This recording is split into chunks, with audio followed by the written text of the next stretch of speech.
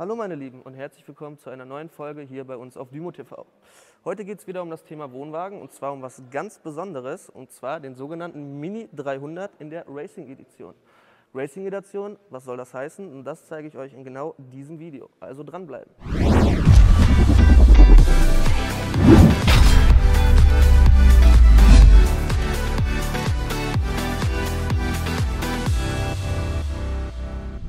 Gesagt, hier haben wir den Stärkemann Mini 300 in der Racing Edition.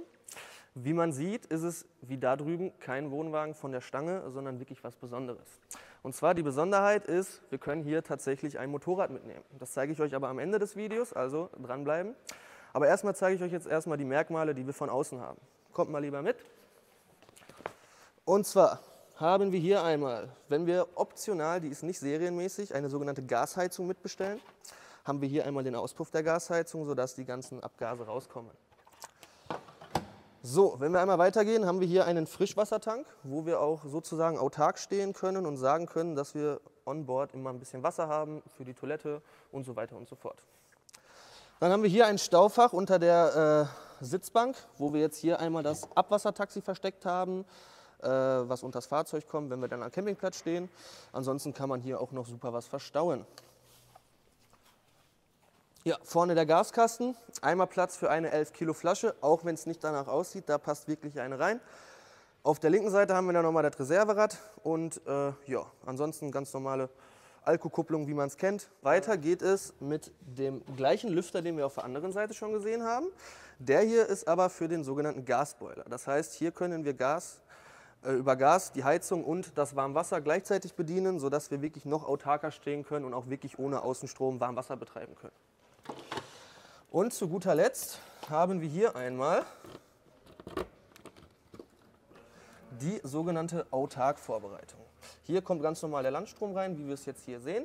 Und hier hätten wir optional die Möglichkeit zu sagen, wir packen hier eine Batterie rein, klemmen die mit den beiden Polen an, sodass wir wirklich noch autarker stehen können und auch wirklich mal in eine Wildnis oder wo auch immer, ohne auf Landstrom angewiesen zu sein. So, dann, was noch ganz schick ist und auch serienmäßig, sind die Alufelgen. Ja, und hier haben wir ganz normal noch die Kühlschranklüftung. Hier ist auch nochmal eine Zwangsentlüftung. Genau. Und jetzt kommen wir zum Highlight, warum dieses Fahrzeug überhaupt Racing Edition heißt. Dafür mache ich jetzt einfach mal einmal die große Heckklappe auf. Habe jetzt hier unten die Möglichkeit, zwei sogenannte Hebel zu entriegeln, um den ganzen Spaß hier einmal runterzuklappen. Und dann sehen wir hier sogenannte Auffahrschienen, um dort ein Motorrad reinzustellen. Jan, hör mal, hör mal. Was ist David. das denn? Ja, ist doch was für dich, oder nicht? Ja, der ist doch Moppe, der ist doch mein Thema. Ja. Gut, dass du hier Ohne so Flachs, das kriegst du hier so. Ja gut, Bitte? jetzt, Moment, Moment. Das ist ja jetzt eher so äh, Fraktion Kindermoped hier, ne? Aber Ah, jetzt mal so. Äh, und dann hier, zack, einfach rein und gut ist. ja, so ungefähr soll es klappen, ne? Ja, hör mal. So, was mache ich denn mit dem Tisch? So wird er der wohl nix. Ja, also erstens den Tisch, den müsstest du, wenn das Fahrzeug drin steht, wirklich einmal komplett rausnehmen und entweder im Fahrzeug, sprich im Pkw zu verstauen, oder Ja. du schaffst es vielleicht sogar noch im Innenraum zu verstauen. Ja, ja, okay. Und was noch ganz cool ist, das sieht man hier, die gleiche Schiene für den Tisch haben wir auch draußen. Das heißt, selbst wenn das Motorrad mal über Nacht drin steht und man schläft im Zelt oder so, braucht noch einen Tisch, kann man immer noch sagen, ey, ich packe den Tisch hier draußen dran und spare mir sogar noch einen Tisch mitzuschleppen. Ja, du, da bin ich ja auch schon wieder Motocrosser. Ne? Man muss auch mal ein paar Sachen auseinanderbauen. Der hat ja gleichzeitig einen Werktisch mit dabei. Das ist ja mal cool. Ja, jetzt pass auf, jetzt bin ich äh, äh, äh, relativ groß. So ein Moped würde ich jetzt da so reinschieben. Ja. Ähm, pff, wenn man jetzt nicht ganz so viel Dampf hat, wie kriege ich denn das Ding da rein? Ja, also man kann optional ähm, eine sogenannte Seilwinde mitbestellen. Mhm. Die wird dann äh, vorne ist ein Loch, da wird die dann durchgeführt. Und dann kann man manuell sagen, man kurbelt das Motorrad da rein. Ah. Sodass dann auch wirklich mal eine weibliche Person oder jemand, der nicht so viel Kraft hat, die Möglichkeit Das hat, Ding da das Ding da reinzukriegen. Genau. Okay, jetzt sind wir nochmal dabei. Das ist jetzt auch mal wieder hier. Ist ein kleines Moped, ne? ist alles gut. Mhm.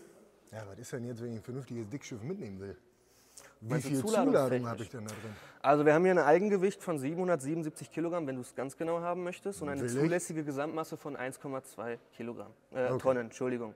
Ja. Sodass äh, wir wirklich eine Zuladung von knapp 400, wenn nicht sogar über 400 Kilogramm haben. Okay. Genau. Das ist ja schon ganz ordentlich. Moped mit 400 Kilo, da hast du auf jeden Fall schon einen amtlichen Stuhl da drin. Ja, das ist ja mal sehr geil. Cool. Und ähm, Äh, wie sieht's aus mit Duschen in dem Dingen? Äh, ja, das kann ich dir gerne mal zeigen. Also, ähm, ist es so, wenn wir das Ding jetzt wieder hochklappen, das mache ich ganz gerne einmal. Das heißt, einmal festhalten, einmal rüber, andere Seite auch noch mal ein bisschen anheben und rüber. So, wenn wir jetzt die Schiene rausnehmen würden und wenn wir mal einmal hier reingehen, siehst du hier oben, dass du komischerweise eine Schiene hast, wo du was einziehen kannst. Ja. Und sogar einen Halter, da fragt man sich, wofür kann das sein? Da hinten haben wir eine sogenannte Duschwanne. Würden wir jetzt mit dem passenden Werkzeug diese Schiene da rausnehmen, die Duschwanne dort reinlegen, Zwei Sekunde. Hab ich doch noch was. also extra Du was hast, doch sicher, du hast doch sicherlich meinen Erste-Hilfe-Koffer immer mit dabei, richtig? Aber auf jeden Fall. ne? Das heißt, Schiene Schaut's raus. Dusch, äh, Duschwanne rein, oben den Vorhang einziehen, dann einmal hier rüberkommen bitte.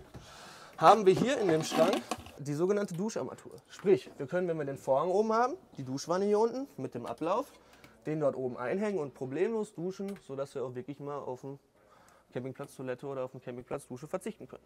Weil Thema Toilette, wenn wir da gerade bei sind. Und zwar haben wir serienmäßig, man will es nicht glauben, sogar eine vernünftige Toilette hier dabei.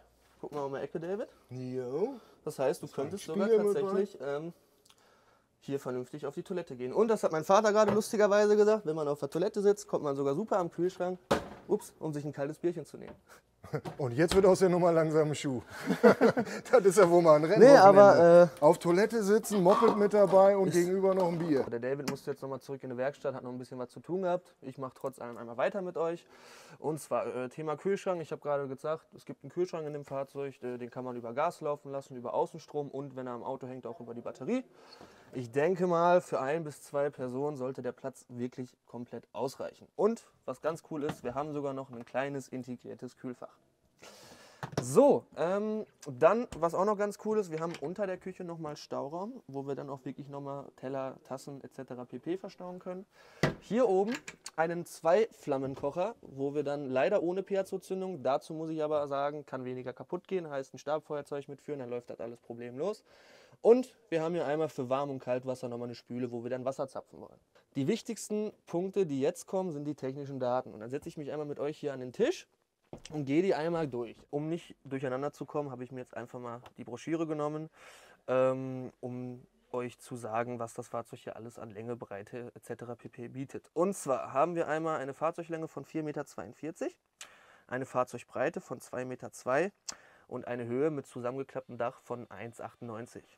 So, ähm, das heißt, wir können mit diesem Fahrzeug wirklich auch in normale Garagen, wie Sie es von zu Hause kennen, rein und man kann das Fahrzeug wirklich sicher verstauen. So, die Innenstehhöhe jetzt gerade mit zu im Dach ist 1,92 und sobald wir das Dach, und das zeige ich euch auch gleich, wie das funktioniert, hochmachen, haben wir eine Innenstehhöhe von sage und schreibe 2,33 Meter. Und wie das Dach aufgeht, das würde ich jetzt euch einmal gerne zeigen. Und zwar haben wir, und das sieht man hier ganz gut, vier solche Laschen, die dann wirklich nur dort eingehangen werden und das Dach nochmal mit ein bisschen Schwung nach unten ziehen. Genauso wie hier. Genauso wie hier. Und genauso wie hier. Das heißt, ich habe jetzt gleichmäßig das Dach hoch. Zack.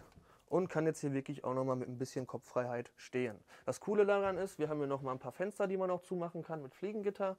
Heißt, wenn man morgens ein bisschen Luft haben möchte und nicht die Fenster gerade öffnen möchte, kann man hier oben auch ein bisschen Luft durchlassen. Genau, und ähm, ich denke mal für die Zwecke mit Motorrad und wenn man wirklich mal einen Kurztrip machen möchte, ist das echt eine super Lösung. So, und das Wichtigste an dem Ganzen, wo schläft man? Also man hat natürlich erstmal die Möglichkeit zu sagen, man nutzt den ganzen Spaß als Einzelbetten. Ich muss dazu sagen, ähm, es könnte vielleicht etwas knapp werden. Okay, die Matratze könnte wirklich mal für eine Nacht ausreichen. Wenn man es aber ein bisschen komfortabler haben möchte, hat man die Möglichkeit zu sagen, man klappt den Tisch runter, sprich diesen Hebel oder beziehungsweise diesen äh, Fuß kann man nach innen klappen, den Tisch dann hier auflegen und was auch ganz cool ist, das ist nämlich hier hinter versteckt, da darfst du gerne mal einmal reinkommen. Und zwar haben wir hier nämlich noch drei so Bretter. Die Bretter, das sieht man hier auch, werden hier nochmal quer draufgelegt als extra Sicherung. Dann kommen die beiden Polster rechts und links in der Mitte und dann hat man wirklich eine große Spielwiese, wo man dann auch wirklich ganz entspannt schlafen kann. Falls euch das Fahrzeug gefallen hat, so wie es hier steht und ihr jetzt auch gerne mal live sehen wollt, meldet euch bei uns, ruft uns gerne an, kommt live vorbei. Wir haben jederzeit Zeit für euch, um euch das Fahrzeug von innen wie von außen wirklich ausgiebig zu zeigen. Äh, ansonsten, falls ihr noch Fragen habt, gerne einen Kommentar da lassen. Ansonsten würden wir uns über ein Like und ein Abo freuen und dann sehen wir uns beim nächsten Mal hier bei Dymo TV.